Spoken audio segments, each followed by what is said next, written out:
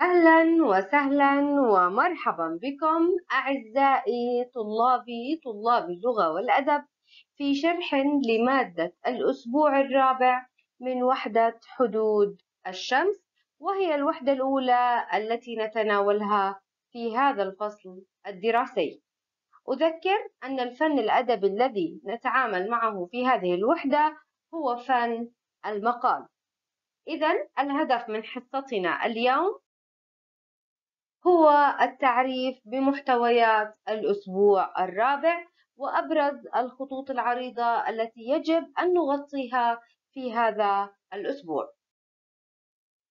أذكر أن المفهوم الرئيس الذي سنتناوله في هذه الوحدة هو الروابط، وأقصد بالروابط هي العلاقات تجمعنا جميعا علاقات تختلف باختلاف طريقة تعاملنا مع بعضنا فهناك علاقات الزمالة والصداقة والأخوة إلى غير ذلك من علاقات. سنقوم بالتركيز على هذه العلاقات وكيفية إحداث التغيير من خلال الموضوعات التي سنطرحها في هذه الوحدة.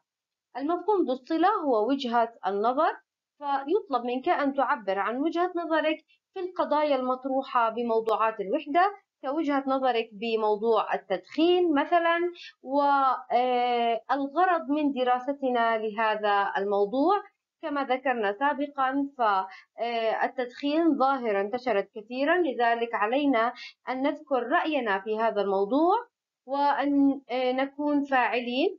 أما السياق العالمي هو الهويات والعلاقات السعادة ورغد العيش.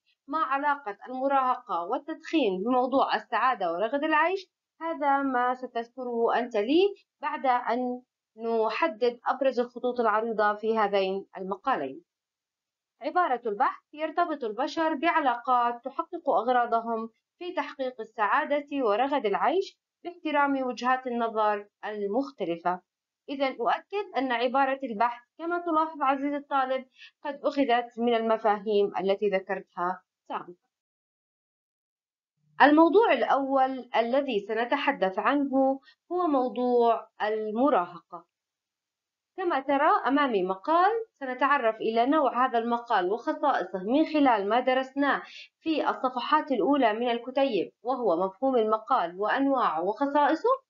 ثم سندخل في هذا المقال من خلال قراءته القراءة الأولية ثم نقلد هذه القراءة قراءة القدوة بصوت المعلمة ثم بأصواتكم ثم نقوم بتحديد أبرز الأفكار من هذا المقال.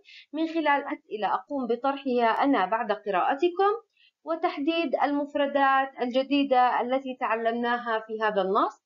ومن المهم أيضا استخدام هذه المفردات في لغتنا استخداما فاعلا. فأقرأ مثلا المراهقة السوية الخالية من المشكلات. أقصد بالسوية أي فعليا الخالية من المشكلات. لذلك علي أن أستخدم هذه المفردة في تعبيراتي وأثناء كتابتي للمقالات التي ستطلب مني بعد قليل. إذا قمنا بدراسة مقالين. بعد أن انتهينا من هذين المقالين ستقوم عزيزي الطالب بكتابة مقال وهي كمهمة تدريبية قبل المهمة الرسمية. ستستخدم فيها علامات الترقيم التي ذكرناها ستستخدم فيها قواعد الكتابة أيضا وتتحدث فيها عن مرحلة المراهقة. أذكر عزيزي الطالب بأننا نقوم بالنزول إلى المكتبة مرة كل أسبوعين ونقوم أيضا بتناول حصة للتربية الوطنية. في هذا الأسبوع ستكون حصتنا هي المكتبة حيث سنفعل قراءة قصة آه، وستكون هذه القراءة على شكل مجموعات. سأعطيكم أنا هذه القصة وعليك أن تراجع صفحة المنصة التعليمية لتعرف التقييم الذاتي وما هي الأسئلة التي ستطرح عليك بعد الانتهاء من قراءة القصة.